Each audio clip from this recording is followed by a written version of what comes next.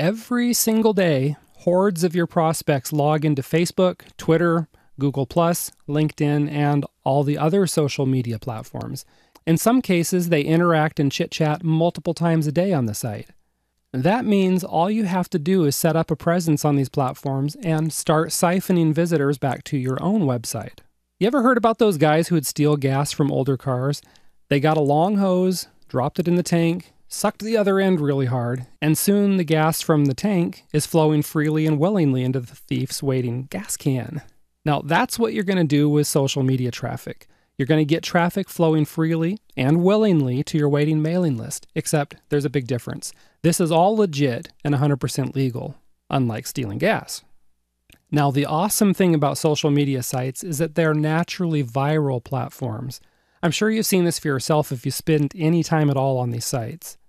For example, someone posts a funny cat video or meme on Facebook, and suddenly it has tens of thousands of shares. I mean, seriously, people really love their cat videos, don't they? The second thing to know is that some social media sites, most notably Facebook, offer paid advertising. This is another great way to reach your audience, but we won't be covering that in this video. For now, we're going to focus on the free options for finding your audience on social media platforms. Specifically, we're going to focus on Facebook since it has a large number of people who log in daily. And they also offer you multiple ways to reach your target audience. However, once you're set up on Facebook, then get on Twitter as well. You might also consider other platforms such as Google Plus and LinkedIn as part of your overall social media strategy, depending on if you think your audience is reachable on those platforms. I mean, if your audience is made up of white haired grandmas, then they're probably not sending eyebrow raising photos over Snapchat. So you can forget about that one, you know? Do a little market research and use some common sense to figure out where your market actually hangs out. So, first things first, you'll need to register for a free Facebook account if you don't already have one. And then you can set up a Facebook page as well as a group. And we'll go ahead and talk about each one of these separately. The first way to reach your audience is to set up a Facebook page for your business. Look, setting up a Facebook page is pretty painless. Just go to the URL that I'm about to put on the screen here. There it is https colon backslash never mind. You just go ahead and type that into your browser, okay? And then you just follow the prompts to set up your page. Be sure to completely fill out your page's profile with your about information, an avatar, and a cover photo. Next, you want to invite your existing prospects and customers to like the fan page. The reason for this is to start getting some interaction going with the page. There's no sense in having your page looking like an abandoned ghost town because naturally, folks like to go where the action is. And since Facebook is naturally viral, you can post memes, videos, inspirational quotes, infographics, and other similar content. Just be sure to encourage your fans to like it, and better yet, to share it on their Facebook walls. Also, be sure your web link is attached to all of your content.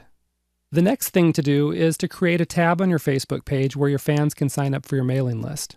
Most of the bigger third party email service providers like Aweber make this really easy by providing an app for this.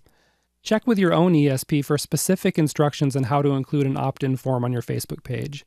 Now, while it's great to chit chat with your prospects on Facebook, what you really want to do is siphon them off of Facebook to your own mailing list and website. That way, you control your traffic. Another good reason for this is because Facebook only shows your page post to a small number of your fans. If you want all your fans to see your post, you need to pay Facebook to boost your post, which totally stinks, I know. So, tell you what, don't even bother paying to boost regular posts.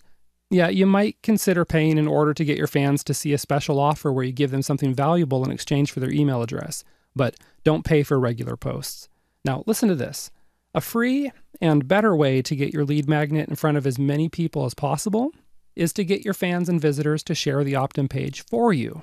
One super cool way to do this is by using an app called Social Share Monkey, which unlocks a gift for your visitor when they share your content with their friends on Facebook, Twitter, or Google. Another tool you can use is Rafflecopter, which gives your visitors an entry into a prize draw for each specific task they complete. These are things like joining your mailing list or sharing your contest with others on social media. So, in sum, Social Share Monkey and Rafflecopter are great tools for expanding both your Facebook page likes as well as your mailing list. Now let's look at the other method for reaching your audience on Facebook. The second major way to reach your audience is to set up a Facebook group. This group isn't about your business, okay? It's not overtly promotional. Instead, it's about creating a discussion around some topic of interest in your niche. Yeah, I know. You'd probably get about a bazillion members if you set up a group about funny cats, but you want to make sure to keep it relevant to your niche, okay? For example, if you sell weight loss materials, then you'd set up a discussion group about how to lose weight. Here in your group, you can post weight loss tips, articles, videos, inspirational messages, memes, and other things. Be sure to also ask questions and post topics which foster discussion. Again, remember, this isn't an overtly promotional group. You gotta flip the switch to stealth mode and fly under the radar for a while. You know what I mean? Just keep it on the down low, okay? Now, another great thing is that this group is going to help you establish your expertise in the niche. Secondly, you'll be able to build your mailing list from the group by offering free resources such as reports, videos, and apps in exchange for email addresses. And finally, you may run into potential affiliates and joint venture partners in your group. You can also join their groups to start building relationships. Meeting just one or two good marketing partners in these groups can make a huge difference in your business. Okay, so these are the basics of getting started on social media. Again, Social Share Monkey and Rafflecopter.com are terrific tools for increasing your mailing list and social media presence. Go ahead and check out the resource section on the site to learn more about these awesome tools before moving on to the next video.